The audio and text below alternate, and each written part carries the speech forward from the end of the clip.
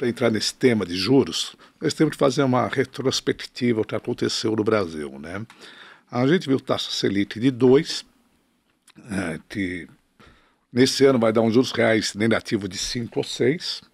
Acho que qualquer economista aí acredita que os juros reais de, de equilíbrio da economia brasileira seriam em torno algo próximo de 2,5 e 3 juros reais. Com essa mudança do fiscal, claro que muda o patamar de juros reais de equilíbrio né, da economia. Pelo menos, acredito eu, que muda 100 basis points. Então, hoje, provavelmente, os juros reais da economia é 4. Você fala, pô, mas é 4, como o BC trabalhou com 5, 6 negativo? Claro, a gente teve uma pandemia que ocasionou uma deflação de serviços enorme.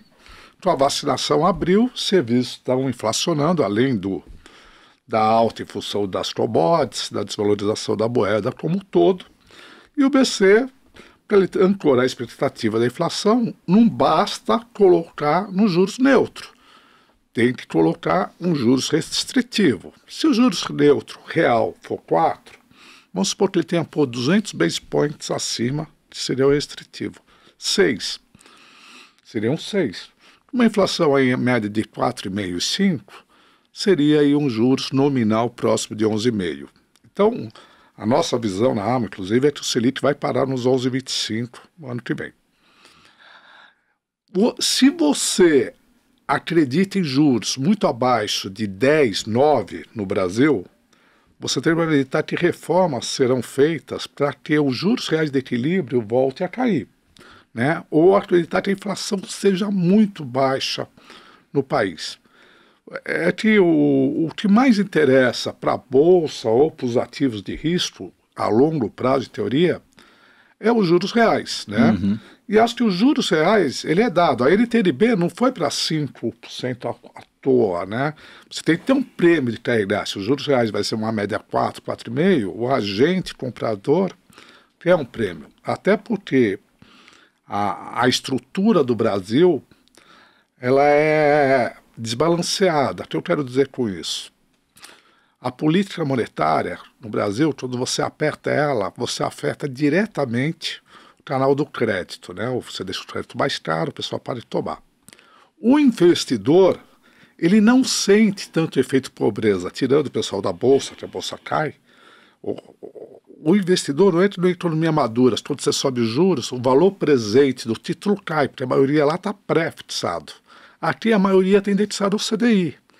Esse cidadão, alguns se sente até mais rico, porque está recebendo mais por mês. Então ele não, não sente o efeito pobreza né, dos seus investimentos.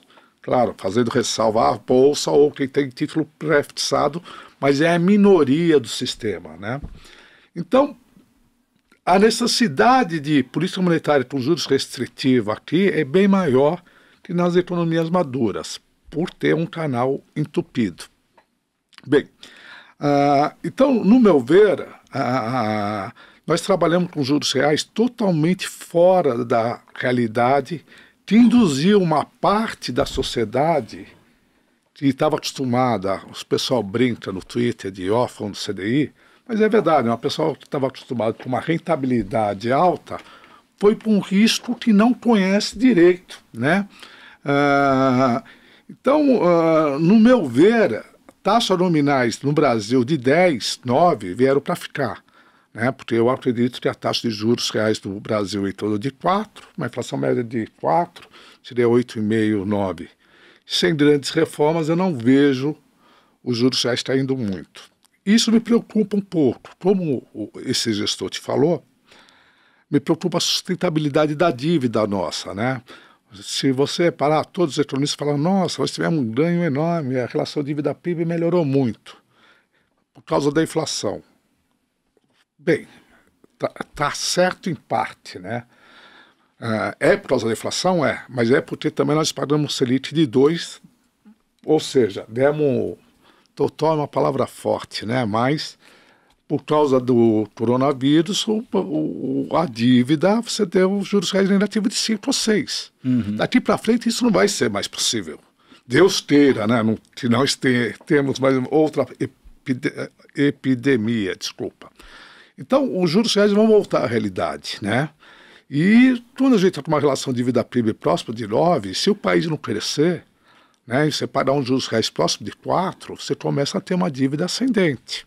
Isso é uma preocupação minha. Então, para o próximo governo, seja lá quem for, direita, esquerda, terceira via, vai ter que fazer reforma. Ou vai ter que aumentar a carga fiscal, que ninguém aguenta mais. Então, o meu cenário realmente não é muito otimista, né? Com relação ao Brasil, de ver uma grande melhorada. Acho que exagerou, acho que a curva segundo semestre do ano que vem bateu 14 de CDI, acho que é um exagero, nós não vamos ver essa taxa, mas acho que taxa próxima de 12, 11,5 é bem possível. E aqui para nós, como hoje, vou encerrar esse ponto aqui é rapidinho, né? Se você pegar, você tem três grandes tomadores de, de crédito, né? O Tesouro, com título pré-fixado, com a NTNB, que uma parte é variável, que é os juros reais, e o tomador de crédito, está nos bancos. O investidor pré-final não equivale a 20% desse volume, é muito pequeno. Quem é que compra esse título? Normalmente, ou é o gestor, ou o tesoureiro, ou aquele cara seguinte, nessa taxa que está aí, eu vou conseguir dar mais de 100%, 120% do CDI 110. Por isso que a curva pré longa sempre tem um prêmio no Brasil. Os ativos e passivos do sistema financeiro e do Tesouro Nacional é muito descasado. Quem sustenta esse gap são os fundos, o investidor estrangeiro. Então ele sempre tem o seguinte, tem que ser um prêmio acima do que eu acho que vai ser o CDI, senão eu não compro. Então, achar que as taxas futuras, né? Vamos supor que o nosso break seja 10, 9,5, né? Venha muito para baixo de 11, fica difícil. Você tem que ter uns 100, 150 base points na curva longa para o arbitrador né, se sentir com apetite para investir nesse prazo. Uhum. Não sei se tem mais ponto, né? Mas acaba, vou acabar alongando, vou deixar um pouco Ferreira Não, falar. mas eu, eu Ou vocês perguntarem, eu, eu acho, eu acho que o ponto aqui que eu, o recado que ficou principal é, é um cenário preocupante mesmo. E acho que a, a única pergunta que fica para mim nisso é o se tendo em vista que o próximo governo vai ter que fazer reforma, eu entendo que e, essa, esse governo as reformas já, já acabaram. Ah, então, eu... esse achatamento na curva a gente só deve ver após as eleições do ano que vem. Exatamente. Ou você ter percepção que vai entrar algum. Né, uma terceira via, que eu acho que nenhum dos dois estão aí na frente, vai dar essa segurança fiscal para o mercado. Né, tem uma terceira via na frente que um discurso. Mas, mas sabe o que eu fiquei pensando disso de terceira via? De, de, da chance de aumentar a reforma?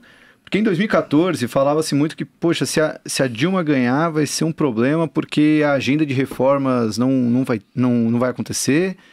E o AS tinha uma agenda muito mais reformista, por isso que quando a Dilma ganhou, rolou aquele pânico.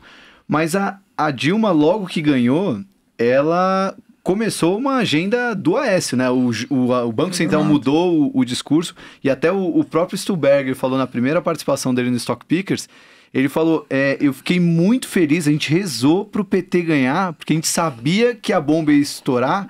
E se estourasse no, no colo do Aécio, o PSDB, o é PT verdade, ia voltar. E, então, assim, o, o fato das reformas serem tão é, necessárias, não importa o governo que venha, é, não, não, traz, não deveria trazer um certo conforto, um certo alívio ou não? A, o fato de ter que ter reforma e o governo que vier Vamos talvez lembrar, entender? Se a gente for olhar, quem foi o presidente que foi mais reformista no curto prazo? Temer. Ah, Michel, lógico. E por que foi Temer? Que não foi eleito. Não, o Congresso, o PMDB, tá, o Centrão ali, né? Então era um cara que se comunicava muito bem com o Congresso, tinha acesso. E o Temer aqui, eh, podem falar o que for dele, mas ele como estadista, né? Teto de gasto, fez algumas coisas que a gente estava no Brasil no, no beiro isso mesmo, quando a Dilma saiu, né? Então eu acho que no Brasil, sem você ter o Congresso, você não consegue fazer as reformas, né? Agora, é importante muito o povo, né, o cidadão, entender que essas reformas são, são importantes uhum. e não votar no, no pessoal que é totalmente contra, né? a, a, a, um Estado mais enxuto, a um Estado mais eficiente. Então, é, eu concordo com você, é difícil ter ganhar, mas tem de ser uma terceira via que tem muita conversa com congressos. Uhum. Então, o... são poucos nomes que eu vejo. O...